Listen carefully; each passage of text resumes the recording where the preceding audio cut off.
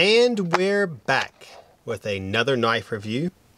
Today it's going to be the Bear Ops Bear Swipe 4 Rescue Knife.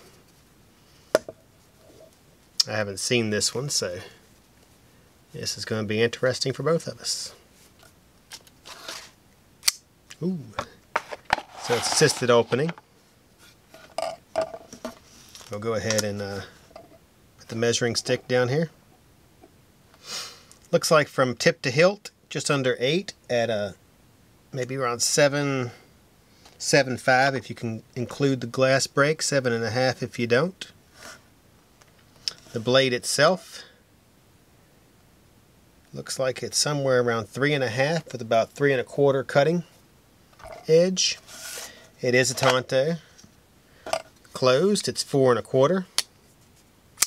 Flipper, assisted opening liner lock.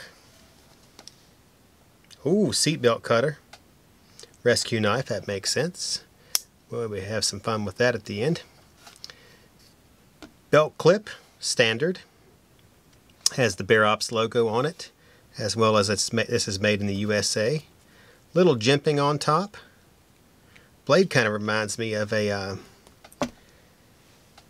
Emerson Kershaw with the wave feature. This one doesn't have that, of course, but very similar blade style as a CQ, CQC series.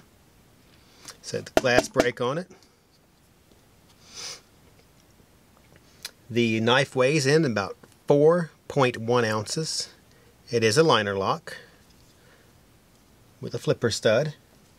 Handle material is G10. It's black, of course. The steel is Sandvik 14C28N. On the Rockwell scale, this would come in somewhere around 58, 59, somewhere like that. Let's go ahead and get some cutting material and we'll show you how it cuts. Alright, here we go. Cuts right through there. We'll do a pullback cut. Very nice.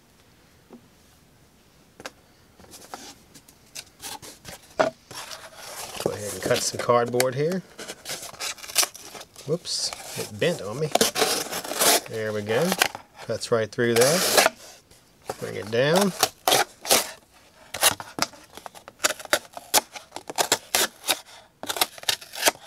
Not bad. Let's see how that seat belt cutter works. This is always one of my favorites to do.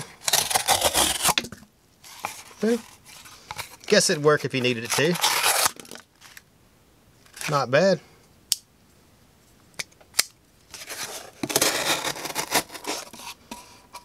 So as you can tell, it cuts pretty nicely. Not a bad little knife. Go ahead and push it in there again. Cut a couple more times. So once again, this is the Bear Ops Bear Swipe 4 rescue knife. Of course, Bear Ops is a division of Bear Edge and it's made in the USA. Nice little blade. Go ahead and wrap this up by saying if you're watching on Instagram, then make sure you like our post and follow at Atlantic Knife. If you're watching this on YouTube, make sure you subscribe to our channel. It's important to us and important to you because we do weekly reviews.